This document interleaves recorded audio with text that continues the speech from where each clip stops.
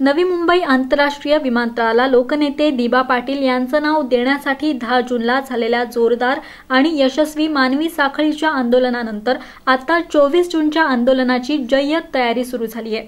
त्याअंतर्गत प्रभाग क्रमांक सोळा एकोणीस आणि वीस येथे आंदोलनाच्या पूर्व तयारीसाठीच्या बैठका पनवेल महापालिकेचे सभागृह नेते परेश ठाकूर यांच्या प्रमुख उपस्थितीत मंगळवारी झाल्या.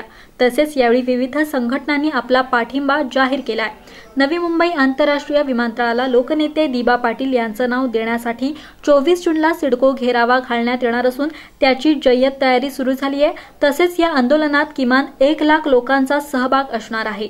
त्या पार्श्वभूमीवर मंगळवारी नवीन पनवेल येथील कर्नाटक हॉल तक्का येथील मराठी शाळेत आणि भाजपच्या मध्यवर्ती कार्यालयात या बैठका झाल्या असून यामध्ये चोवीस जून रोजी होणाऱ्या आंदोलनाची पार्श्वभूमी आखण्यात आली.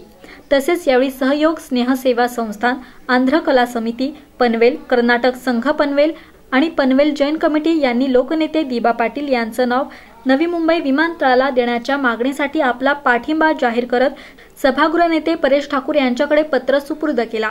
यावेळी महापौर डॉक्टर कविता चौतमोल पनवेल शहर अध्यक्ष जयंत पगडे स्थायी समिती सभापती संतोष शेट्टी नगरसेवक अनिल भगत राजू सोनी अजय भैरा तेजस कांडपिळे नगरसेविका दर्शना भोईर भाजप नेते श्रीनिवास कोडरू भास्कर शेट्टी रमेश म्हात्रे महेंद्र वावेकर युवा मोर्चा जिल्हाध्यक्ष मोयरेश नेतकर यांच्यासह पदाधिकारी आणि कार्यकर्ते उपस्थित होते.